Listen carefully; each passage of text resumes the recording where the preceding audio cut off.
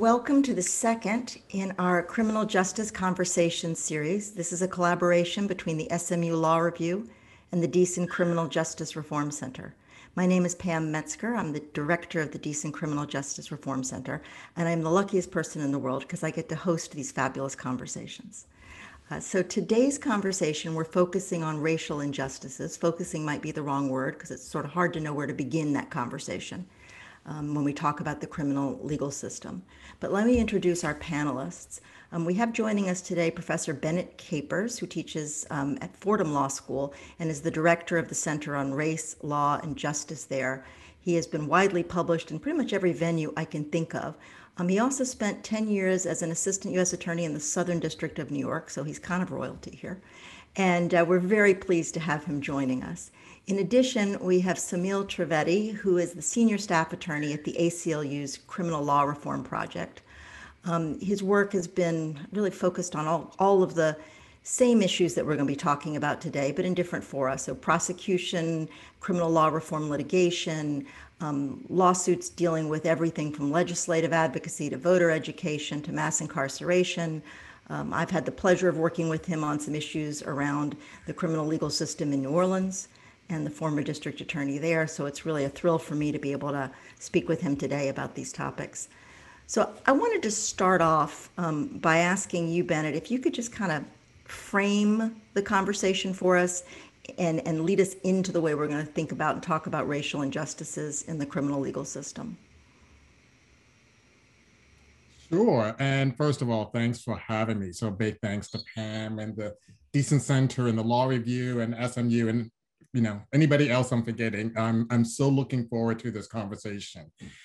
And you know, it's interesting just even asking how to frame sort of the interplay between race and criminal justice. There's so much interplay. I I was on a, a, panel a few weeks ago where I sort of said, you know, with respect to criminal law and criminal justice, race is often the elephant in the room. And another panelist, when he spoke, sort of responded, you know, something race is the room. It's not just the elephant, it's, it's, the, it's the room. So, um, I mean, there's so many uh, interconnections. I could talk about um, um, um, disparities in sentencing or prison or racial profiling.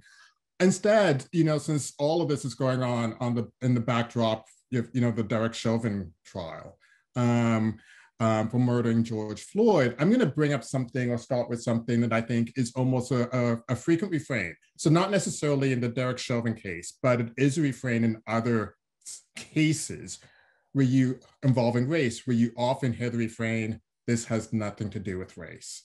So, in the trial for the officer who shot Philando Castile, quote, the case has nothing to do with race in the trial of a white officer for shooting an undercover black officer, obviously, probably friendly fire. This case has nothing to do with race. Uh, from the George Zimmerman trial for uh, Trayvon Martin, uh, this case has nothing to do with race. Even the disorderly arrest case involving Henry Skip, Skip Louis Gates at Harvard, um, you know, the refrain was this has nothing to do with race. And I think as probably everybody in this Zoom room knows, uh, race has everything to do with everything. Um, and since I teach evidence, I will also sort of put out there that I often make the argument that we use race as evidence. Um, so I could talk more about that. Instead, what I'm going to talk about is sort of um, quickly one study, if you don't mind. Um, and I think everybody knows about implicit biases, but uh, this is a different study, and I like it because basically uh, the the um, um, the people conducting the study gave um, um, um, a story to mock participants um, about a confrontation. Um, and later on asked them to recall that story, to repeat what they had heard. And to the extent the story had a Black participant in it, they would add acts of aggressiveness that were not in the original story. To the extent it had white participants, they would forget acts of aggression by the white participant. So we always see things through the lens of race. And again, you know, this sort of ties into implicit biases. But what I want to switch to is sort of the sort of historical connection, because one of the criticism occasionally leveled with respect to implicit biases is it describes the present without actually explaining how we got here. It's not like we were all born with implicit biases. This takes centuries and centuries of work. So, you know, I think most of us in the room probably know that uh, after the Civil War, for example, there was a deliberate effort to depict Blacks as criminals. And, you know, part of this was done because it made it easier for the South to recreate slavery by another name since the 13th Amendment, which officially abolished slavery, sort of left a carve out as a punishment for a crime. The result was a host of black codes and peonage laws and convict laws and Jim Crow's laws that sort of were able to reassert sort of a racial hierarchy. But even before the Civil War, uh, there were slave codes that ensured race would matter in terms of punishment, even in terms of what was a crime. So I often tell students, you know, keep in mind that at the same time it was not a crime for whites to hold humans in bondage or to rape them in order to increase their property. It was a crime for blacks to move about freely, to gather in groups, or to possess weapons, or to own livestock. Um, in South Carolina, the state where I'm from, um, the Negro Code of 1735 even went so far as to specify what fabrics slaves were permitted to wear to make sure slaves did not address above their station. And all of these lo- laws have afterlives and are present. Um, they all contribute to, you know, what Harvard historian Khalil Gibran Muhammad describes as writing crime into race. Um, so there's so much more I could say about this. This like we could talk about uh, the history of policing and slave patrols. It's like basically it's almost impossible to think about our criminal justice system without thinking about race, which always makes me a little bit uh, surprised when I hear people teaching criminal law and not discussing race at all. Sure.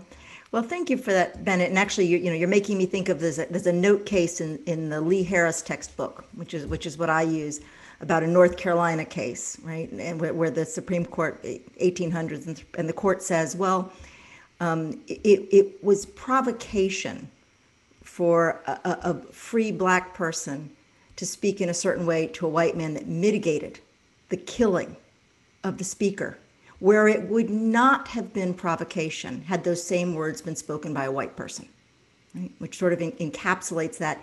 And, and I mention that because it goes to this point that, that we were talking about the other day in our prep call and, and, and so, can you talk about what, what you came into this conversation thinking? Because it, it's so interesting.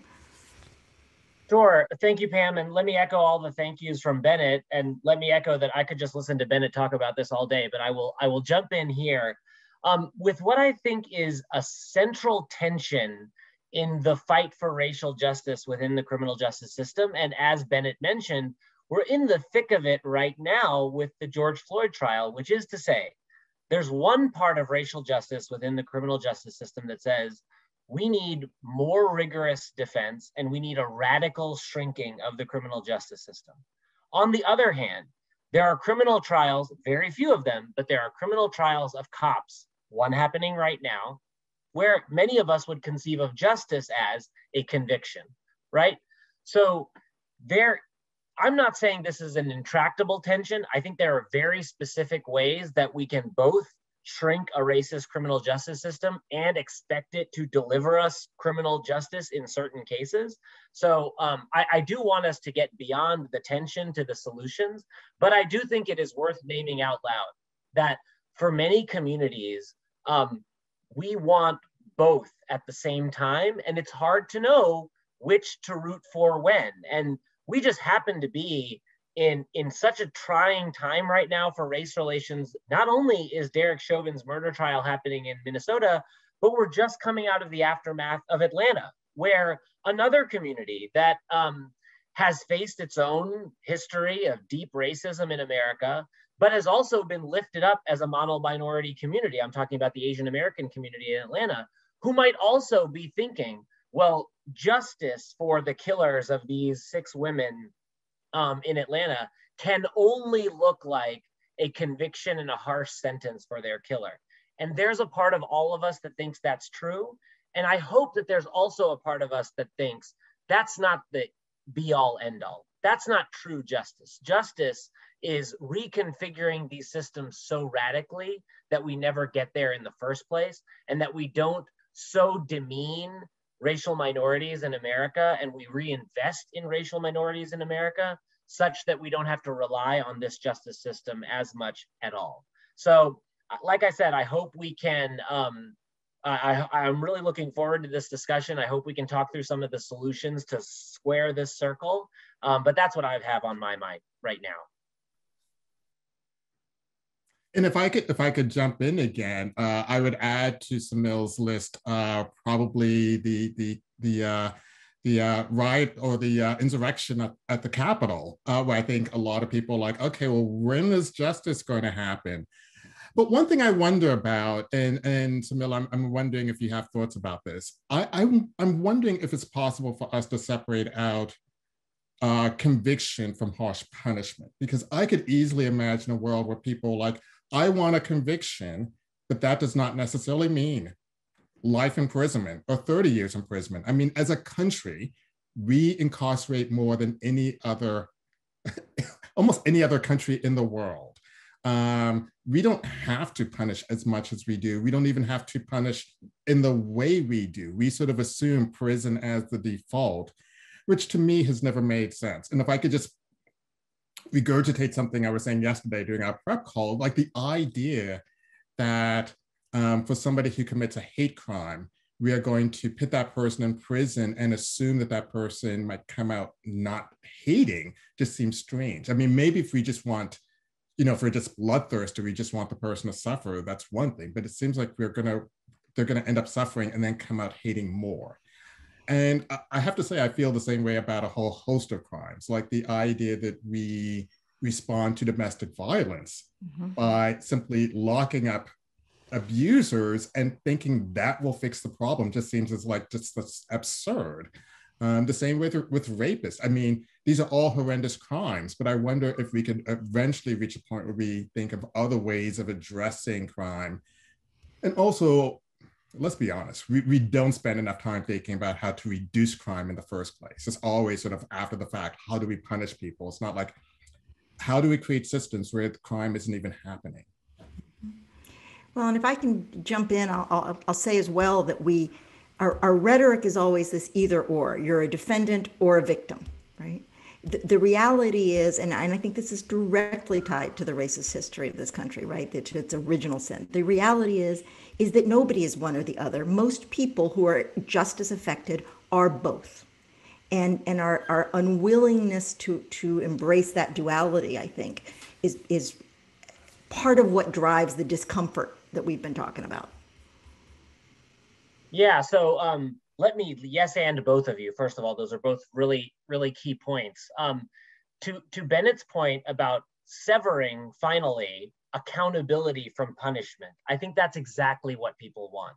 I, I think we don't have nuanced and complex enough conversations about accountability without punishment. And I think people want that. People want a way to address harmful conduct without throwing lives away, right? Um, and I think to that point, people also want um, proportionate responses by government um, that focus resources where resources need to be focused. So, you know, one very interesting study that just came out over the last week and that's been setting the internet on fire is that 80% of America's criminal cases are misdemeanors. And now we have empirical proof from Suffolk County, Massachusetts, that choosing not to prosecute those misdemeanors actually reduces the chance of follow on implication in the criminal justice system. And that speaks to Professor Bennett's point that simply involving someone in this system makes them more prone to harmful conduct later. How, as a prosecutor, as a police officer, can you know that information and then still choose to prosecute a low level crime? I don't know. And I hope that, I, I, doubt, but I hope police departments and prosecutors' offices around the country are really internalizing um, this data that the choice is not prosecute first and then decide how much to punish later. It might be do not prosecute in the first place. And, and I think that's where the conversation needs to go. So I'm going to tag in here just to say that, you know, the, the focus on misdemeanors is so interesting because, of course, most of those misdemeanors, again, have their origins in post Civil War laws that were designed, right, to create a slave workforce, right, under the 13th Amendment. And, and there is a direct line there. The, the other thing I'll say, though, and I want I want to push on this a little bit, uh, maybe I'm just less less optimistic than you are, but I'm not convinced that if you give communities the choice, um, that, that they won't ask for harsher punishments, that they won't be looking for um, longer jail sentences. We've all seen the way public opinion gets driven by, by kind of anti crime hysteria. And quite frankly, with the change in the way we're keeping crime statistics now, I think we can anticipate a lot of elevated rhetoric about crime increases that may not be real. Um, what do you guys think? So, so I, I will say that I suspect communities, you're absolutely right, Pam. You know, there's not agreement. And, you know, if you go into communities, even communities that uh, sort of face disproportionate policing and say, what do you think about defund the police? What do you think about abolish the police?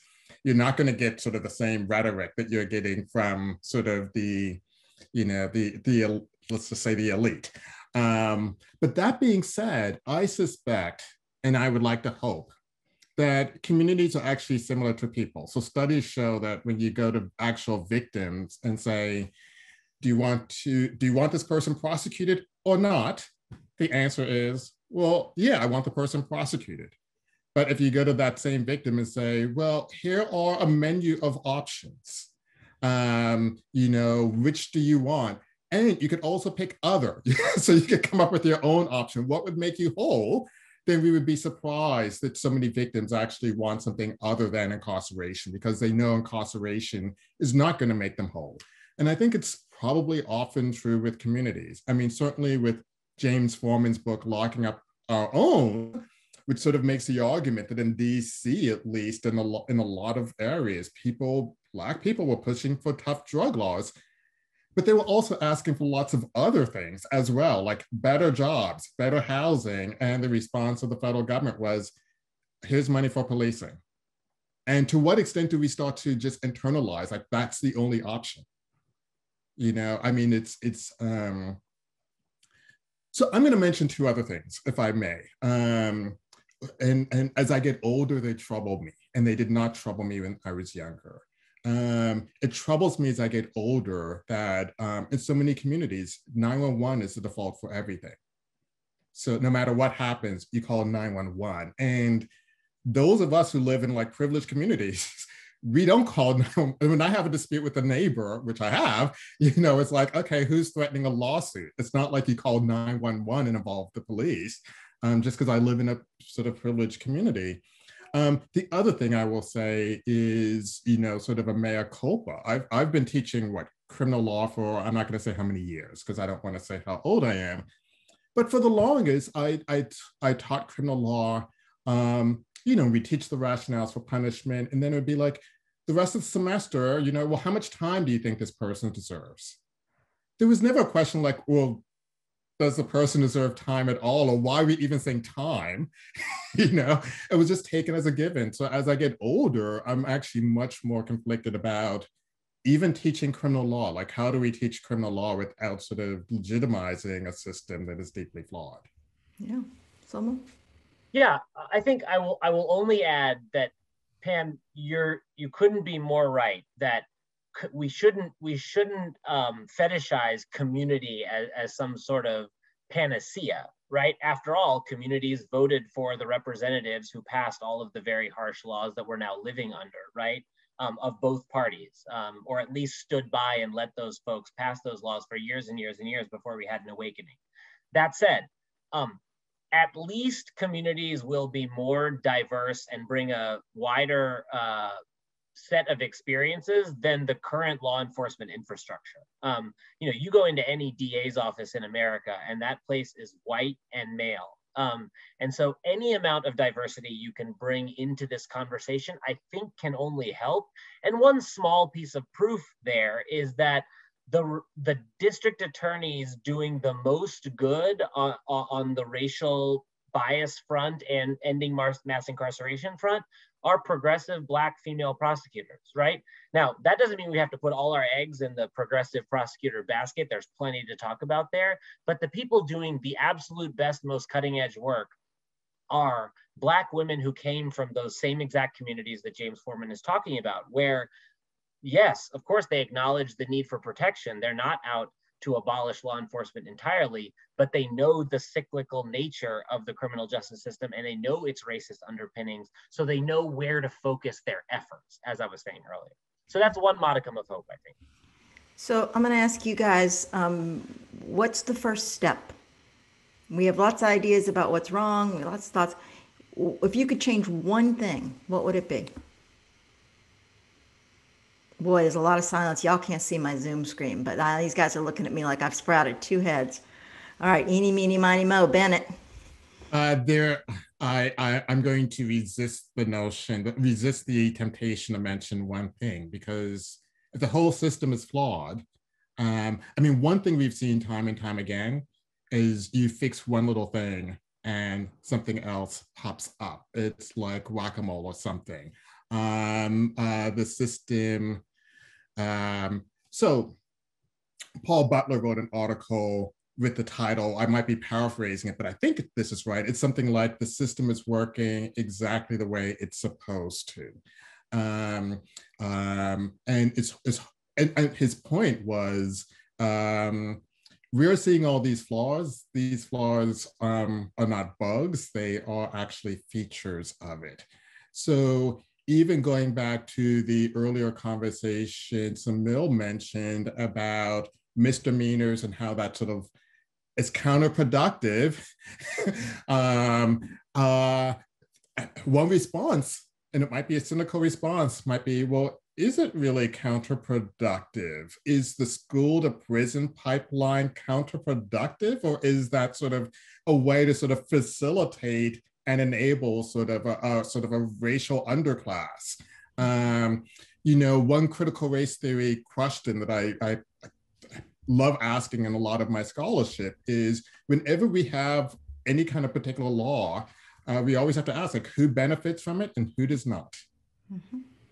Well, thank you for that. Um, and uh, well, I'm just going to point out. Someone wrote in our um, in our chat, and I'm going to throw this out because this really does um, follow up on what Bennett just said.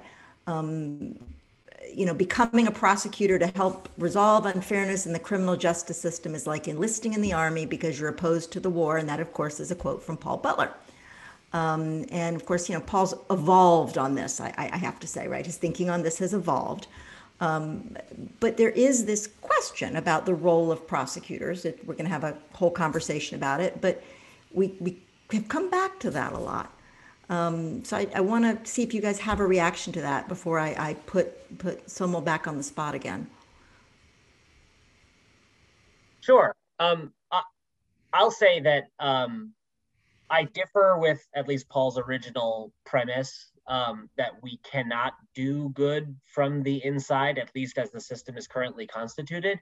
And I don't believe that it's a zero sum game between harm reduction via smart progressive, thoughtful, compassionate people becoming prosecutors now, and those of us outside the system shrinking it um, to the point where it can do less and less harm over time. Uh, and so, uh, and that, you know, you have two former prosecutors on this call, so uh, maybe others would have different views. But um, having been there and actually having been a misdemeanor prosecutor, um, I know that my decision making meant more in that system than what outside actors were telling the system to do. Now that's a problem, and I quit because I had too much power. Um, but that is reality, and so um, I think we can walk and chew gum at the same time.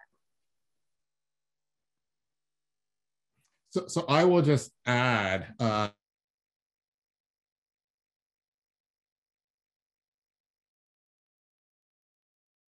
prosecutors. And I think one of the one of the joys of being a law professor is I can write things that are never going to happen. Um, but uh, it was basically making an argument that we should just get rid of prosecutors and return power back to the people.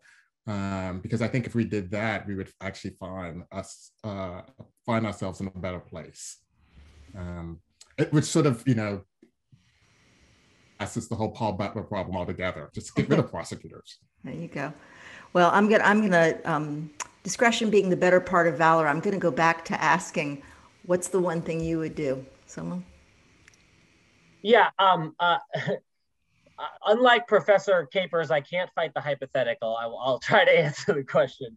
Um, but I, I think it's to shrink the system as much as humanly possible. Now that's basically all answers in one, so it's also a cop out. But um, I think that achieves many of the solutions that we're trying to get at here, which is to avoid the unintended consequences of sim- simply moving deck chairs around on the Titanic, right? Is to reduce the amount of interactions between law enforcement and and the polity, um, while also freeing up resources and brain space for more creative solutions to underlying root causes. So, um, you know, that's obviously the devil's in the details, but I think rather than coming up with one-off policy solutions here and there, I think we need to um, just just rejigger the entire approach to human welfare uh, at the at the state and local levels. You know, I think often about the argument that that part of the reason that the system works the way it's supposed to without consequences that on that system, right, is because we have so dis and we've disengaged the consequences of the system from the people who, who are making it run. So, in other words, communities aren't asked to bear the cost of incarcerating people. Um, and to the extent that they do in the local jail, they don't see it. They're not, it's not transparent that they are choosing, right, policing over hospitals or policing over schools or, you know, and the downsizing that we're talking about, there is this trend, right, that downsizing means less incarceration, right? But what we're seeing is, you know, devil in the details, we're seeing an increase in the surveillance state. Now, this is not the kind of surveillance that Bennett talks about in, in well, maybe a little bit, but this is the surveillance state that has everybody on an ankle monitor, um, everybody, you know, pinging into their parole or probation officer. And that also is very, very reflective in a, in a really visceral way, right, of the legacy of slavery. I mean, I don't think there's any way to separate that image of someone walking around with a cuff on their ankle, right, and having to report into somebody, you know, jump and say how high. What do we what do we do with, or how do we talk about um, bringing people to say, as, as you both I think have suggested, enough this this whatever this offense is, it doesn't matter enough to to our community, to our sense of justice, to lock this person up, to have them on a monitor, whatever it is.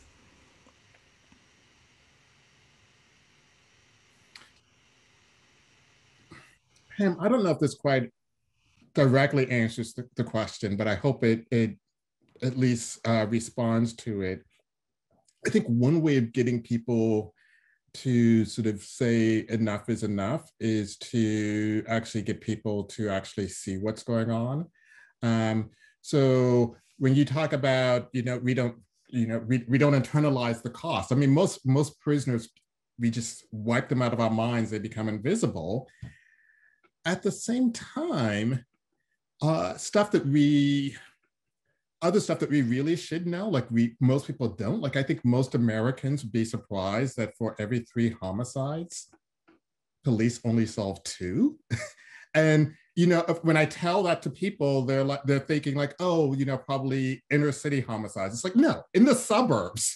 you know, you know, if you're killed by your spouse, yeah, that crime gets solved. If you're killed by somebody else, like chances are the that crime just doesn't get solved so obviously it's the same with property crimes. Probably everybody on the Zoom call has had something stolen. You report it to the police and the police shrug their shoulders. There's this, I think one thing we could do is sort of resolve the disconnect between what police focus on, um, which goes back to Somil's point about the misdemeanors and things that don't matter, and what we really should care about, uh, which are actual crimes. And then if we could also sort of ratchet down the punishment for those crimes at the same time, uh, you know, then we would at least be heading in the right direction. Oh, thank you. So we have a couple of really interesting questions that have come in. Um, one is is goes back to this question, I, I, think, of kind of the baby steps, right, that, that we go through. And and the question is, as we're working for reform, What are your thoughts on diversion programs, problem solving courts, and victor offender, medi- offender mediation programs? Is investing in those a distraction or is it worthy? And do you think we learned anything from the initial pretrial jail reduction seen immediately after the pandemic? So I'm going to suggest we break those into chunks because I think the pandemic question probably merits a separate conversation. But, uh, you know, I think the three of us have talked a little bit about this, right? I'm, I'm a problem solving court skeptic. Um, and uh, I think the data support the idea when we know that people who succeed at drug court do really, really well. We know that the vast majority of people who don't succeed at drug court do far, far worse than they would had had we never intervened in in with a specialty program, right? I think it speaks to a point of the services should come to you whether or not you get arrested. But I'll I'll let you guys respond as well. Yeah, I, I will wholeheartedly agree with that assessment. Now, the notion that we are trying to pair accountability for some small amount of harm. Now, let's be clear. Um, most of the cases that end up in these sort of alternative uh, diversion programs are the kind that are small enough that we should probably just let go entirely, right? Um, but to the extent that there is some amount of societal harm that we want accountability for, and we identify um, underlying root causes that we also don't want to entirely ignore, right? Because one consequence of no longer prosecuting misdemeanors, we have to admit, is that we may never identify people with problems, right? And that we do genuinely want to fix. So I, I will, I'll give credit to the notion of drug courts in that we want state intervention at some level to help people feel both accountable for some amount of harm and to help people. We're just doing it all wrong, right? And we're attaching it to punishment rather than than mutual aid. And therefore, let's just shift the entire concept of it out of the criminal justice system and much earlier into somebody's life where it can actually make a difference and they never have to get in touch with a system that we know can harm them worse than whatever was happening to them before. Yes, everything that was just said, I will I will second. I I it troubles me that uh, for so many of these uh, drug courts and alternatives, it's involving the criminal system at all. Like that just seems absurd. I would be fine with um, alternatives if we could just bypass the criminal system altogether. These do not seem like criminal issues.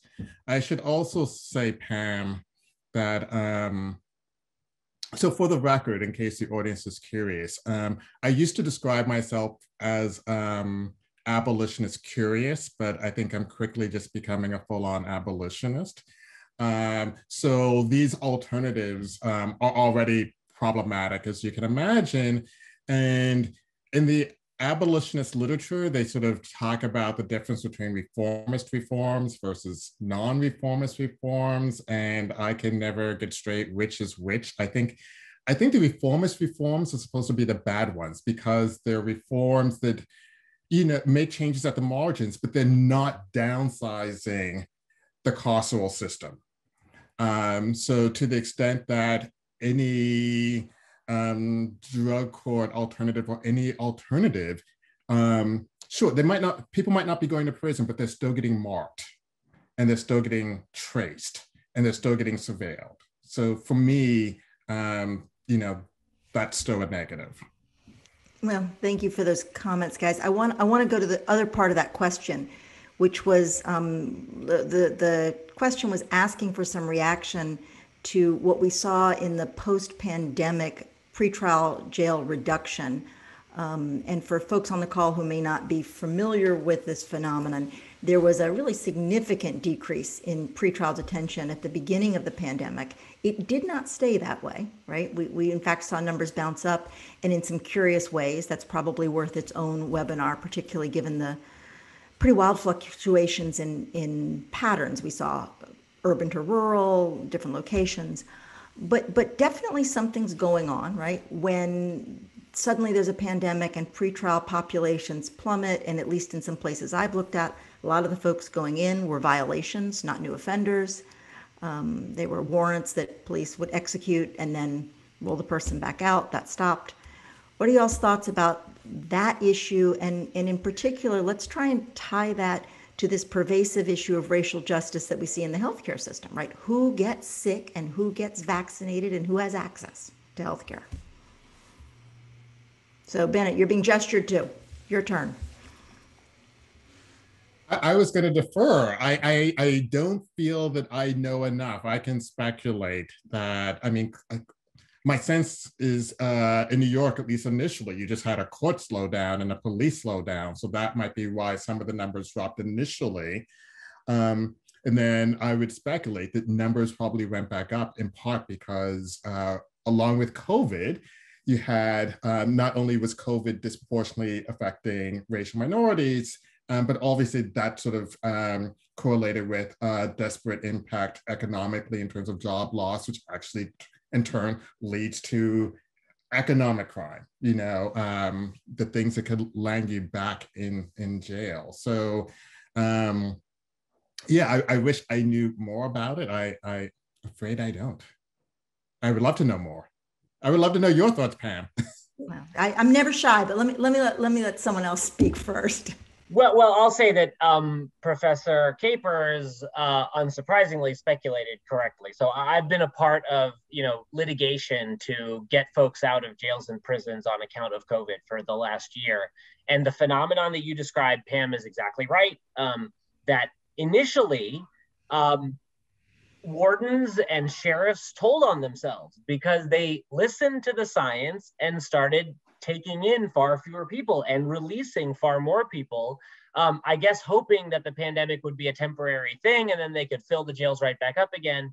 Um, it turned out not to be a temporary thing, but they did fill the jails right back up again. And you are right that the pervasive racial disparities in healthcare in the United States doubled on themselves and then were showing up in the in the intakes into jails and prisons because of course um, poor black and brown people were less able to shelter in place and just ride this thing out and so they got picked up in higher numbers and so yes we are seeing now jail numbers go right back up to the, what they were pre-pandemic except in places where DAs and sheriffs actually took this data to heart. And speaking of, you know, black female progressive prosecutors, Baltimore is one example where Marilyn Mosby um, was able to keep jail numbers as far down as she could and realized that you can keep it that way and so she's keeping it that way.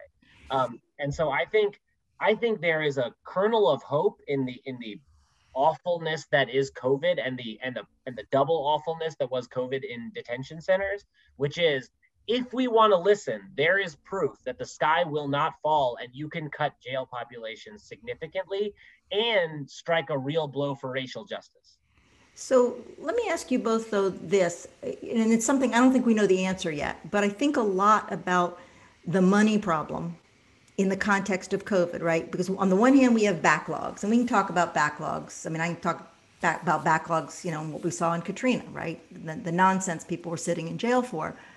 But one of the things that, that we've been talking about in criminal justice over the last five, ten years now is the pervasive burden of fines and fees and the fact that they are inflicted on people, mostly poor people, as a way of sustaining the existence of the very court system that, that's essentially oppressing them, right? It, it, it's a very, very vicious cycle. And I, I, I have been worrying, and I'd be curious to hear your thoughts, that one outcome of the pandemic may be increased pressure to collect fines and fees because as, as a judge who I used to appear in front of used to say, Well, Ms. Metzger, the court's got to eat. Um, and if the court's got to eat, I can tell you on whose backs that's going to be. What happens then? And I mean, besides people suffering, I, I really would love to know how we take advantage of this moment rather than losing it to the press to, to keep the money flowing. I don't expect anybody to have any answers, but I would love some thoughts. I mean, someone you've been doing this litigation, you and Jason have been out there. What what are you seeing?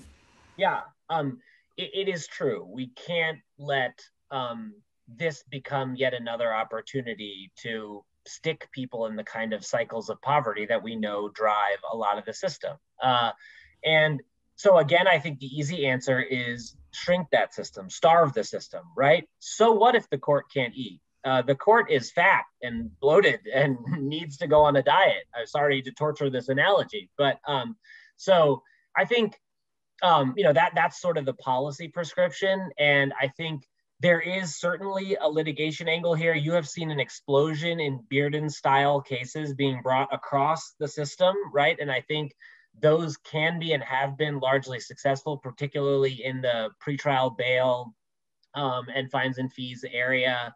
Um, not as much in felony disenfranchisement, particularly in Florida, but it ought to be. And I think that's still an argument worth making to make sure that people can re-enter um, and vote and do other uh, do other of their civic duties that we promised them that they should be able to do after they've quote unquote paid their debt, but their debt keeps piling up.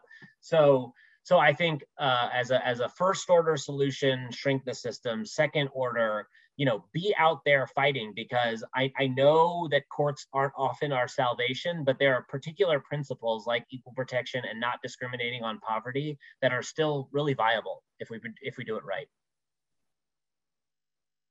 And, and the only thing I'll mention is an observation I actually heard from somebody else a few days ago, where they were just observing that it's sort of interesting that slavery was sort of like based on using racial minorities as capital to sort of prop up the capital of the South.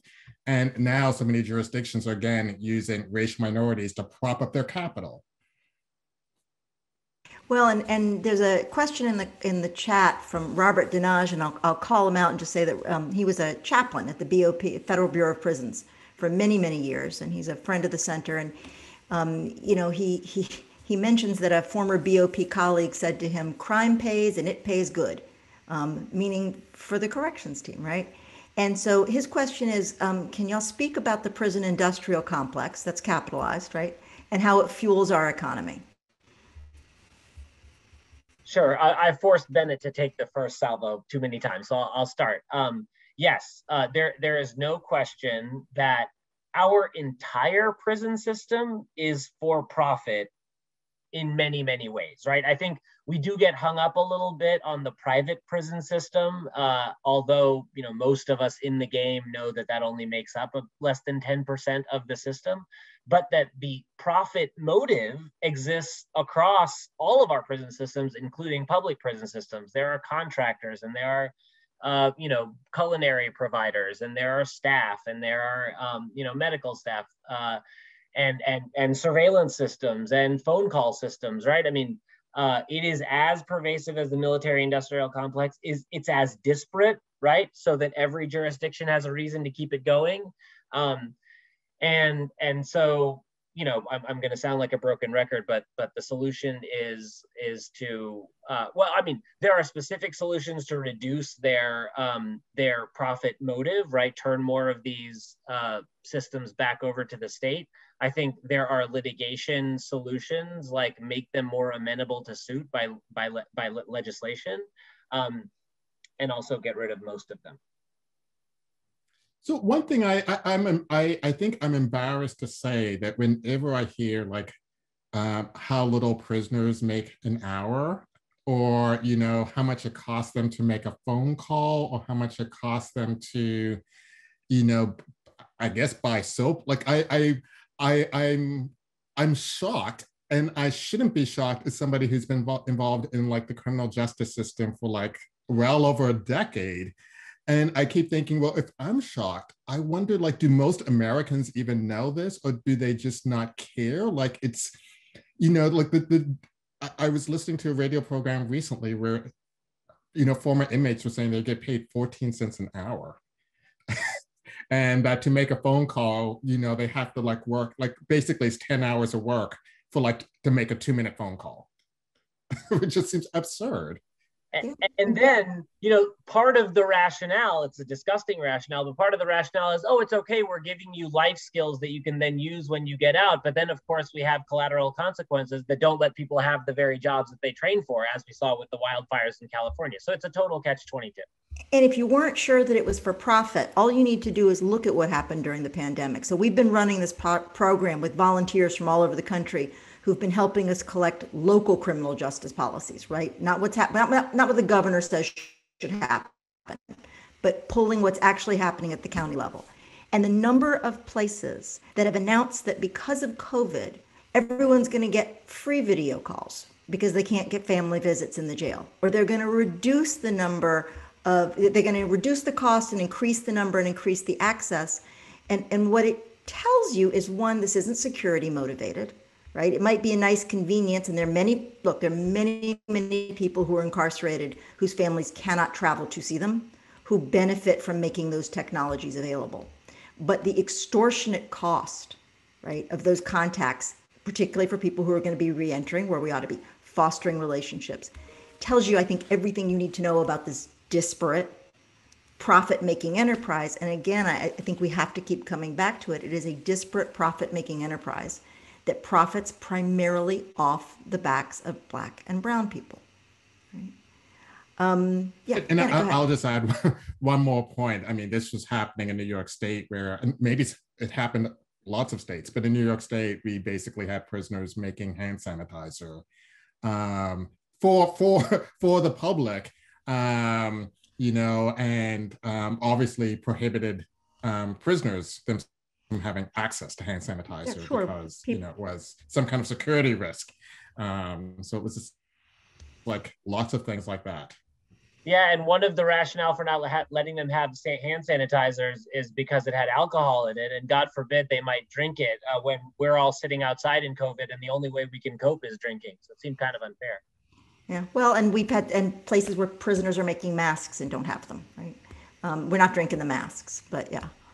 Um, so we, I'm going to switch tacks a little bit because we've had um, a question that takes us all the way back to Paul Butler um, which was about jury nullification and whether that's an, an, an effective approach to change. Um, thoughts? Sure. Uh, yes. I mean, you know, I think professors in the room probably know that the only right in the Constitution that's named both in the text and the amendments is the right to a jury trial, right? Um, and so before we even get to nullification, I think we have to recognize the fact that 95 plus percent of convictions come via plea bargain, and plea bargaining is the driver of mass incarceration that nobody really talks about, and allows us to disproportionately incarcerate black and brown people because they come from communities and come from means that don't allow them to fight the coercive nature of plea bargaining.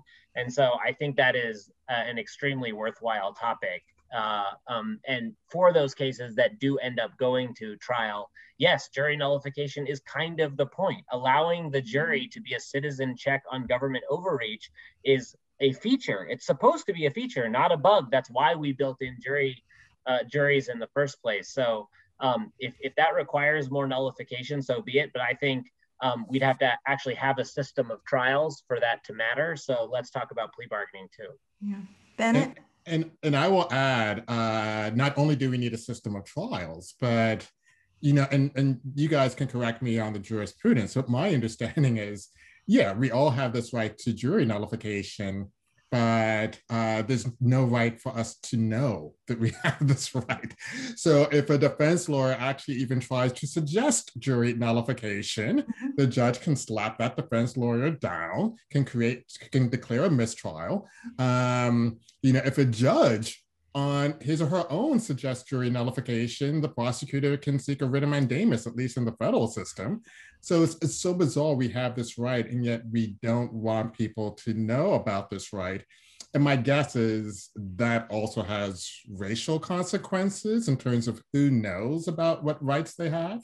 Um, you know, clearly people who have law degrees and are more educated and, um, you know, are, are more privy to what rights they could exercise even as jurors. So I'm going to push back a little bit and I'm going to say this. Whenever I talk to my first year criminal law class about nullification, because I take a little dip into procedure, right? Um, one of the things I say is, is there's, there's nullification that we like and there's nullification that we don't like. And um, nullification is also an acquittal in the Zimmerman case, I think. I think grand jury nullification right? Eric Garner. Um, and so I think we have to be really thoughtful about nullification. And it may be that it's still okay in the sense that it is a signaling to people who thought that things were fine, right? An acquittal of George Zimmerman, I think, is a signal, and maybe nullification's value has to be in its signal, even if we don't like its outcomes. In other words, it, its expressive content, regardless of whether we like the outcome, would have to be valued. But I think it's it's it's always been important to me to highlight that piece because I, I think a lot of the history of the civil rights movement has been federal response to discriminate what, what, my, what my former colleague Tania Tetlow calls discriminatory acquittals. Right? These are nullifications too. So, so Pamela, I could not agree with you more. And one of my criticisms of, of Paul's piece, uh, racialized racial jury nullification, is that sure that might be a possibility in DC, which is majority minority. It's it's it's practically an impossibility anyplace else because blacks, Latinos are going to be the minority on a jury. At most, you're going to get a hung verdict, which means the prosecutor can try the case again. And guess what the prosecutor is going to do next go around? The prosecutor is going to use his or her peremptories mm-hmm. um, to strike more and more jurors of color. Mm-hmm. Yeah. So I'm going to switch gears again because we have a question that switches gears. We've talked about prosecutors, we've talked about police, we've talked about corrections. This question um, asks um, about a quote from Charlie Gerstein, who's at the Civil Rights Corps. Um, and, and, Charlie said the American criminal system suffers not only from the problem of underdog underfunding, but also from another, perhaps deeper problem that ample public defense funding cannot solve. And his question is Are public defenders complicit in many ways in, in the injustice in our system? And um, I have thoughts, but I'll let you guys go first. So I, I take Charlie's question, um, and Charlie is a, is a brilliant partner of ours in, in a lot of cases, but I cannot in good faith use the word complicit.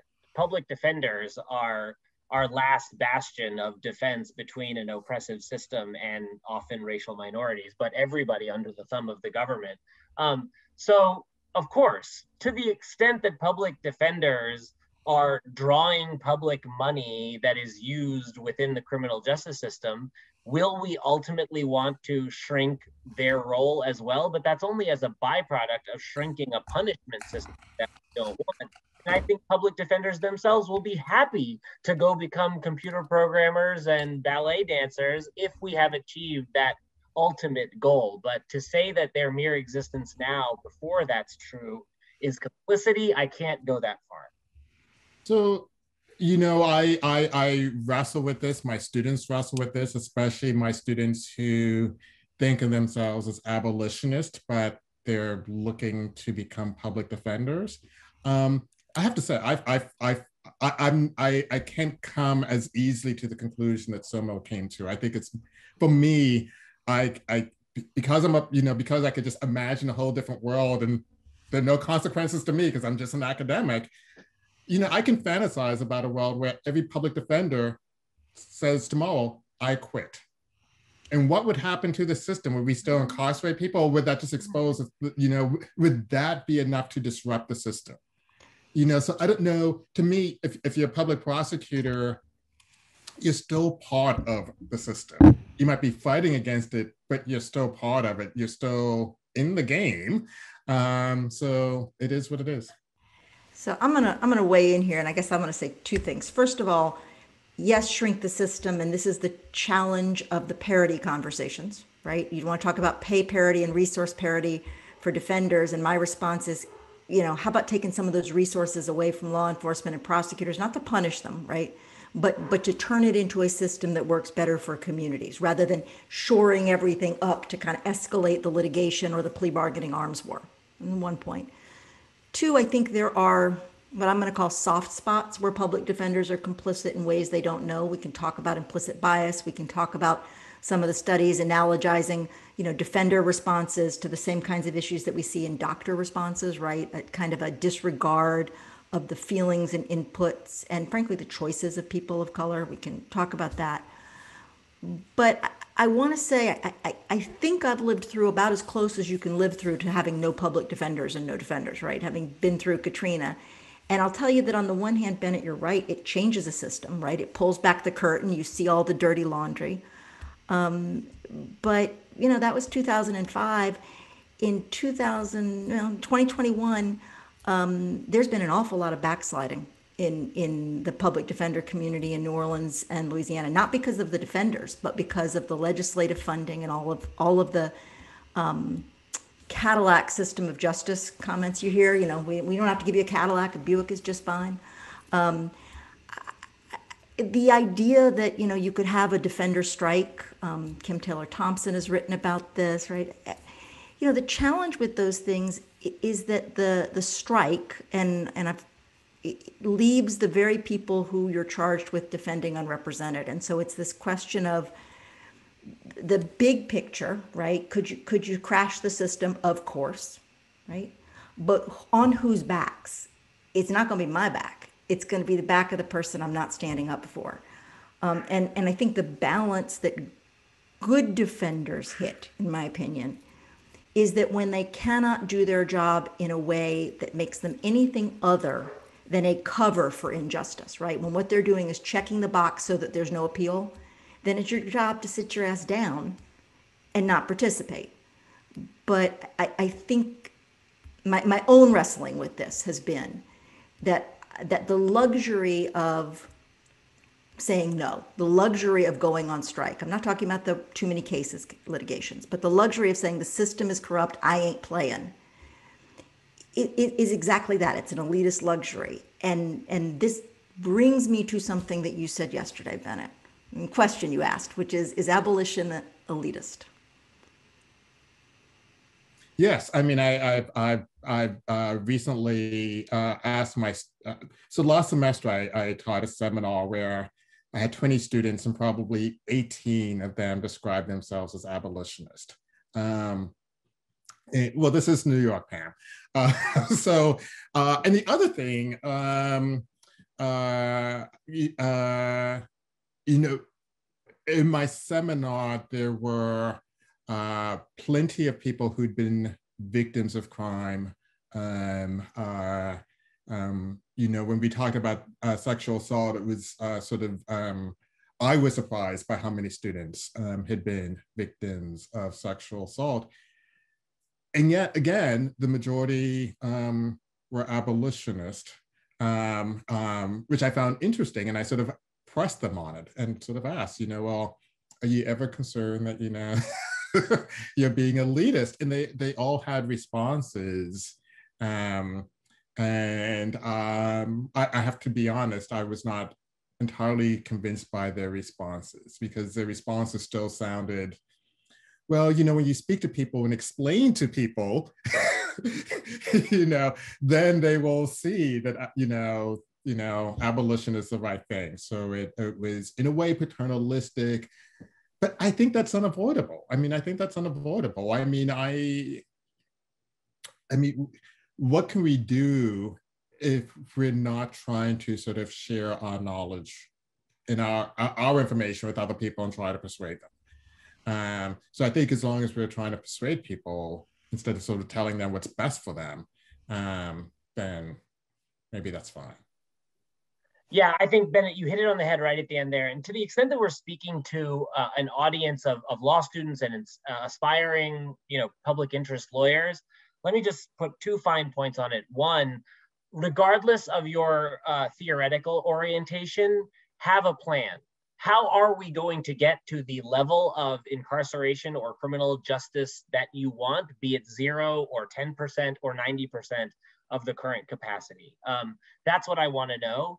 And secondly, um, as Bennett just said, involve the people whom you want to help. It, it's elitist because we talk about it in panels like this and we don't go consult the people that we're trying to help. And, and speaking of complicity, I the ACLU, other organizations are complicit in that um, sort of habit of, of top-down solution making. So if you have a plan and your plan has has legitimately involved the inputs of the people you're trying to help, then then we can get somewhere concrete. And if the place that you want to go is abolition and you've done those two things, amen, let's go. And if it's not, amen, let's go. But at least we're going with something actionable and something that'll really help people. So follow on to that. Um, some someone's asked, okay, you want to give it back to the people. How are you going to get around exactly what we started with, which are the people's biases, the people's racism, the people's kind of investment at, at every possible level, right, in either the benefits of institutionalized racism um, or the blinders in terms of capacity and potential and change that, that you that people live with because of institutionalized racism. I'm getting I'm getting a lot of how-tos. Yeah, so I think this speaks to the holistic approach that we've been talking about throughout, right? And walking and chewing gum at the same time.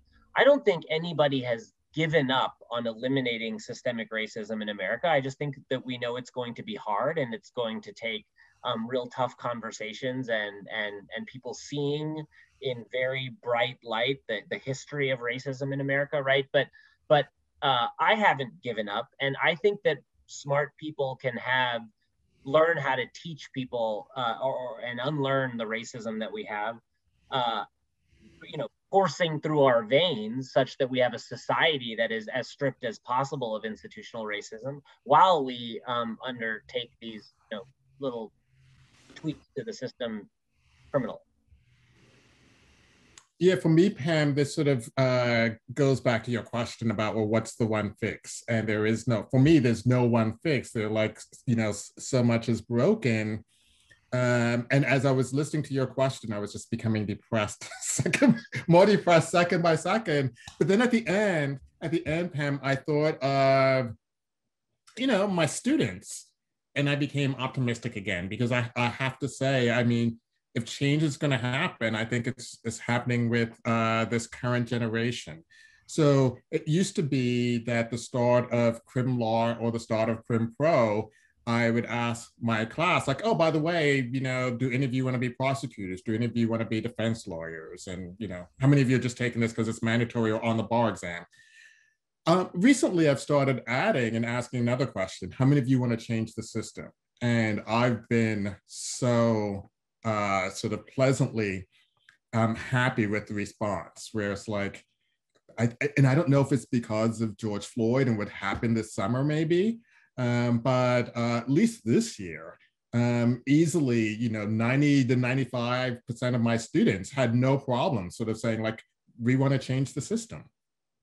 Yeah, you know, it's interesting you say that about generations because I'm now at a point where I'm old enough to say there are other generations behind me, right? And um, a couple of years ago, when I first started at the Deason Center, I had the pleasure of, of having Brittany Barnett work with us part part time. And two things struck me about y'all's comments when I was thinking about it. One, she was on a fellowship that was half with us, half with Cut 50, an organization that has a specific vision: cut mass incarceration by 50%. Right? I mean, it's got, it's got an articulable goal, a measurable goal. Two, Brittany came to me very early on and said, "I want to start a project that focuses on um, ending life in prison without parole for people charged with nonviolent federal drug crimes. I want to build a campaign around this. And I looked at her and I said, Nobody's going to care. You're right. It's outrageous. Nobody's going to care. Trust me. Nobody cares about those people but you and me and a handful of lawyers who've represented them and their families. That's it. Nobody cares. And um, boy, was I wrong, right? She's built this amazingly successful campaign. And I'm not just talking about her clemency work, right?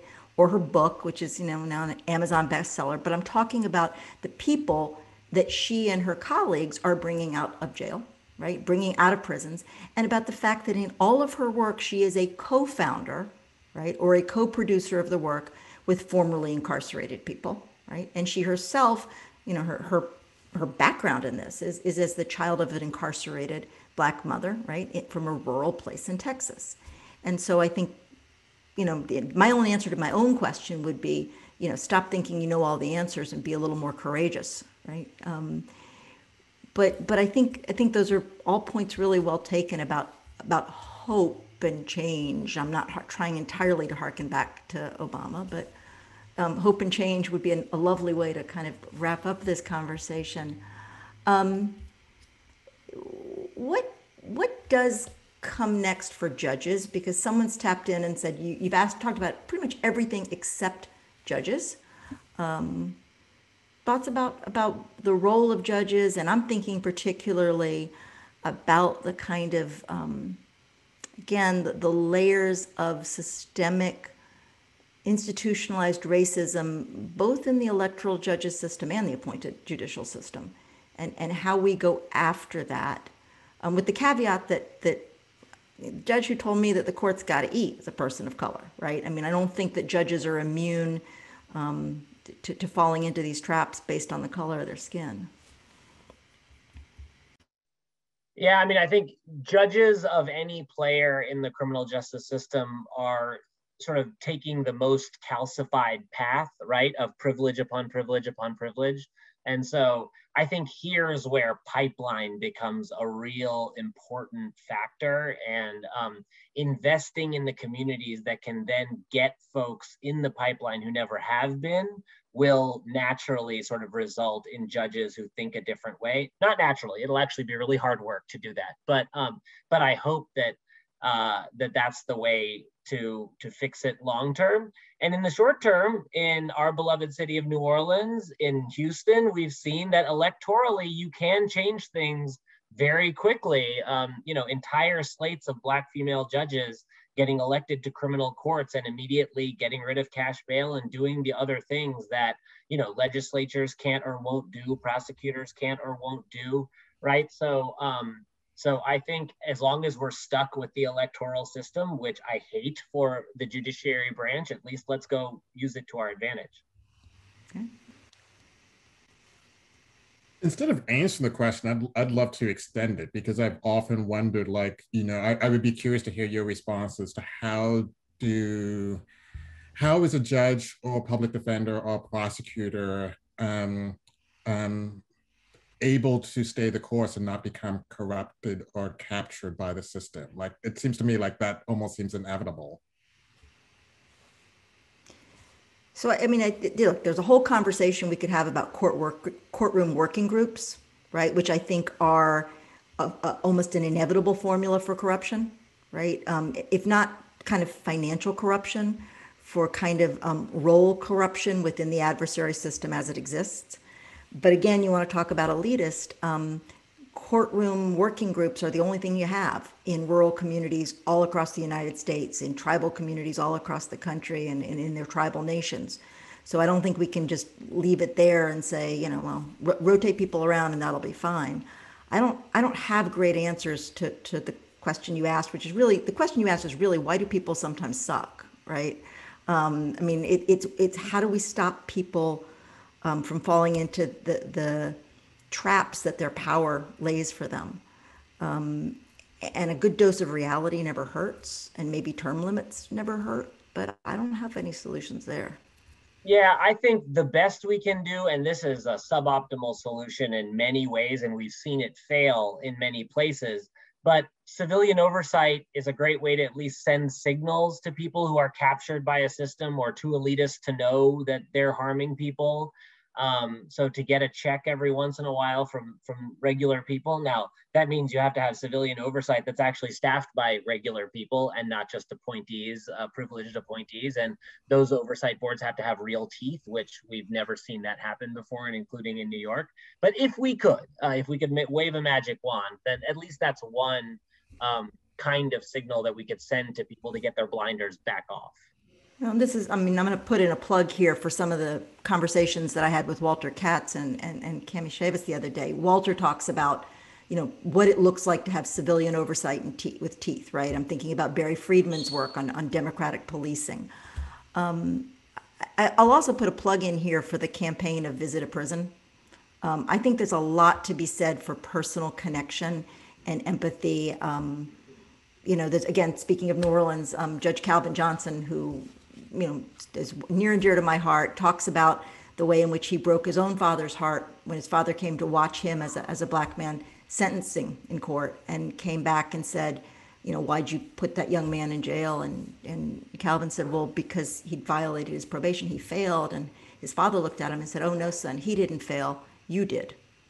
Right. And, and I think holding that message close to all of our hearts. If we're privileged enough to be able to serve in the system rather than being victimized by it, is probably the best formula.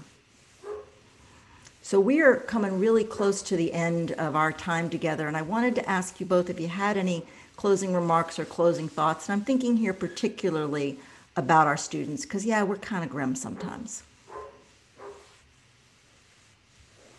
Keep at it. Um, change can happen. Uh, I know it seems very dark at times, uh, but the criminal justice system is also one place where we've seen change come leaps and bounds and rapidly over the last decade or two.